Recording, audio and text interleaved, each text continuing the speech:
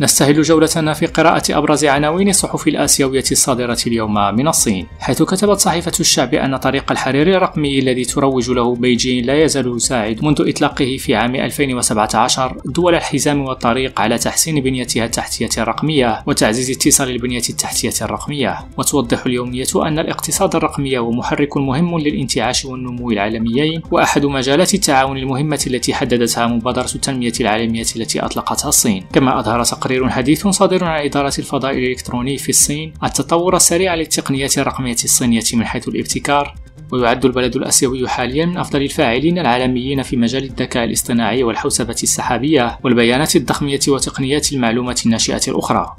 وفي الهند ذكرت صحيفة هندوستان تايمز أن خسائر الدخل بسبب موجات الحر كانت الأعلى في الهند بين دول مجموعة العشرين في عام 2021 ووفقا لتقرير الشفافية المناخية لعام 2022 الذي نشرته منظمات تحليل المناخ على مستوى دول مجموعة العشرين كانت الخسائر أعلى في أربعة قطاعات وهي الخدمات والتصنيع والزراعة والبناء. وتبعا لذلك يمكن أن ينخفض إنتاج الأرز في الهند بنسبة 10 إلى 30% وإنتاج الذرة بنسبة 25 إلى 70% وذلك بسبب درجات الحرارة الحارقة المسجلة في عام 2021 وفي اليابان ذكرت صحيفة أساهي شينبون أن شعبية رئيس الوزراء الياباني فوميو كيشيدا قد انخفضت مؤخرا مع ارتفاع استياء الناخبين بسبب ضعف الين وارتفاع التضخم. وذكرت الصحيفة أن دعم حكومة السيد كيشيدا انخفض إلى أقل من 30% في أكتوبر أي بحوالي نصف ما كان عليه قبل ستة أشهر.